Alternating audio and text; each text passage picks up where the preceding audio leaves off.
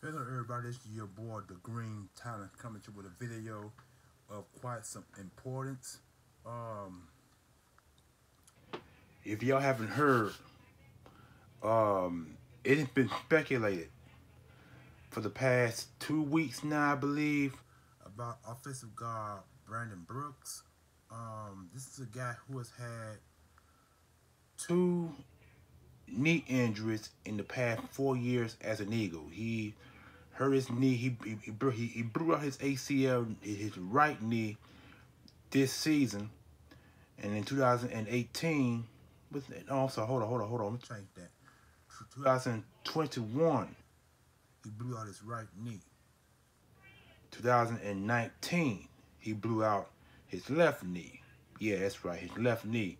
And he came back to play strong in 2020, only to get injured again this past season. So he had, he had two of the last two uh, two two knee two, two knee injuries and different knees in the last four years as an Eagle. And so maybe this time bad luck had struck the offensive guard because when he also went to, also with the Texans, he has had so he also had he also had had, had also an injury history with the Texans. And so that one of the reasons why the Texans never um, re-signed him. So the Eagles picked him up, got him as a bargain. A bargain deal when, when they signed him back in 2017, I believe. Which is the year that he played, the, the year that he played and won, helped him won a Super Bowl. So, so, so, so we do got a Super Bowl ring with the Philadelphia Eagles in the first year as, as an Eagles offensive guard. Um, it's been speculated that the Super Bowl winning offensive guard plan to retire when this season when um retire this season. You know what I'm saying? And so which is a good thing because the Eagles signed to a long term contract back, back in 2018, I believe. 18, 17, 18, no, I'm sorry, 2019, they signed to a long term deal. And he, he, he, he was at the time the high offensive guard in the NFL, but 2020 the year after he signed a new contract, the, the Eagles um they redid his contract, and so they actually gave him um uh, what they call they re redid his contract and they gave uh, I think they shortened his years, and um they gave him more money up front and shortened his year because I think I think he signed a five year five year contract, and so they took away I think one year of that deal and gave and gave it gave it up uh, up front signing bonds when he signed the contract. And so now he has two more years left on that deal. I think it's like 16 or 17 million this, this coming season. And the last year, I think like 10 or 15 million too. And what I believe. I think I posted I think I posted once before on Facebook of his um of his new contract that he signed back back 2019 and um, like I said, he, he hurt his knee 2020, 2020. Oh, he hurt his knee 2019. He he hurt his knee the year that he signed new contract. In 2020, they they reworked the deal, I believe. And 20, he didn't get a reworked deal. This this year after he hurt his knee again, and he, he in the knee he hurt he didn't hurt it in playing in a preseason game or a real season game. He, he hurt his knee in practice, non-contact. And the first time he hurt his knee as an Eagle, I think he played it in one. I think he played it in a, in a regular season game, and that ended his season. So if you look at the situation of of what what he had done with the Eagles overall and and how he hurt his knee, it's just strange. It's kind of like it's bizarre to me, a bizarre knee injury is when it's non-contact. A non-contact injury is bizarre. Um, but hurting your knee, but blowing out your knee in regular season game or preseason game, for that matter, you in contact, and so um, that's when anything can happen injury-wise. Cause that's why when when preseason games are done, like I said, you can be four, nine, three. When preseason games are done, the, the Stars don't play unless the, unless the unless the third or fourth game of the other preseason preseason series. And so now we're being three games last year and, and more likely be three games game this year. Uh, regular Stars don't play. They play they play either third or the fourth game, but like I said, nine nine down to three. So players will, will play in the third game of the season. So, but like I said, I, I don't mean to get off track. But overall, it's just ridiculous for one of the best offensive guys in football to blow out his knee. And so now I guess got to look at I think Eagle Zone, I believe. I think Eagle Zone and someone posted posted on Facebook and they saying that he had decided to retire as an Eagle, so I'm not quite exactly sure what's gonna happen after after this season because now with him retirement, the Eagles gonna save almost close 35, almost close 30 million dollars in salary cap space, which is gonna which which are gonna accumulate with the money they got now. I think I think they got 14 million in cap space saved. So you add that 25, 30 million to it, that 40 million right there.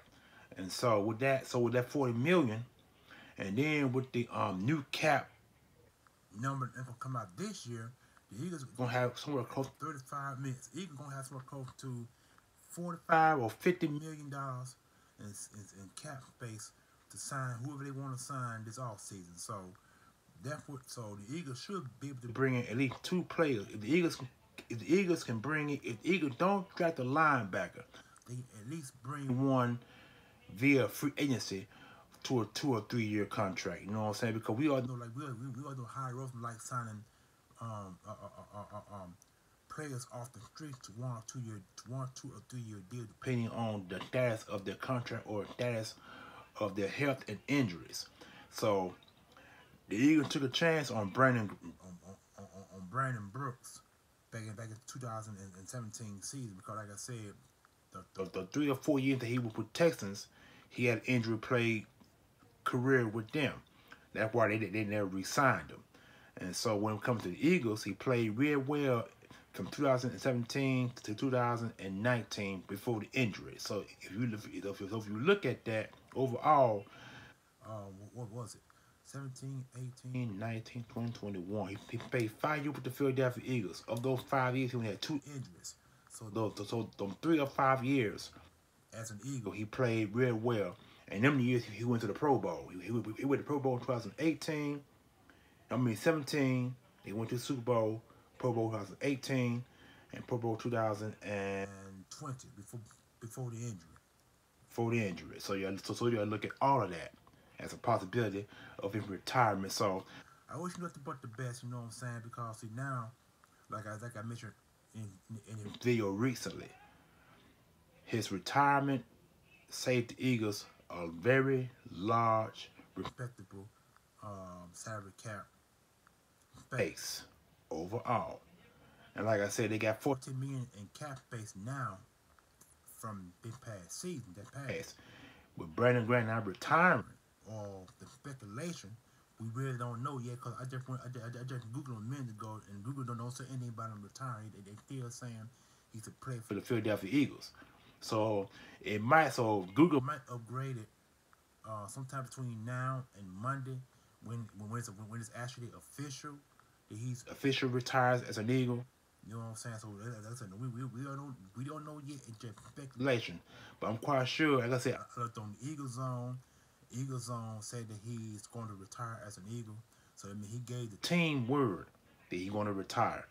So, but as far as Google concerned, Google had to upgrade their status of Brandon of Brandon Brooks him being an Eagle and his retirement. So, so right now it's just a speculation. We don't know for sure, but it's just a rumor.